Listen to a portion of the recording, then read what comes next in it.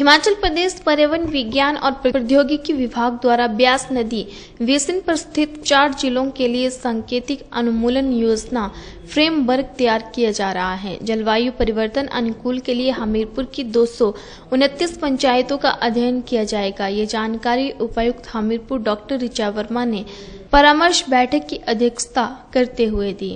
उन्होंने कहा कि जिला के सुजानपुर टिहरा की 20, बिझड़ की 48, नदौन की सत्तावन भोरंस की 33, हमीरपुर की 25 तथा बमसन की 46 पंचायतों का डाटाबेस तैयार किया जाएगा जिसमें विभागों को योजना निर्माण में सहायता मिलेगी। उन्होंने सभी विभागों के अधिकारियों को पर्यावरण विज्ञान और प्रौद्योगिकी विभाग को आवश्यक डाटा उपलब्ध करवाने के निर्देश दिए हैं। पर्यावरण विज्ञान और प्रौद्योगिकी विभाग के वरिष्ठ वैज्ञानिक अधिकारी तथा प्रदेश जलवायु परिवर्तन संयोजक डॉक्टर सुरेश अत्री ने कहा कि इस अध्ययन के दौरान इन पंचायतों में पिछले सैंतीस वर्षों से हुई वर्षा, पानी की उपलब्धता, तापमान, जनसंख्या घनत्व, सिंचित व असिंचित क्षेत्र, कृषि व बंजर भूमि टैंक, झील आदि 18 मानकों के आधार पर जोखिम मूल्यांकन किया जाएगा।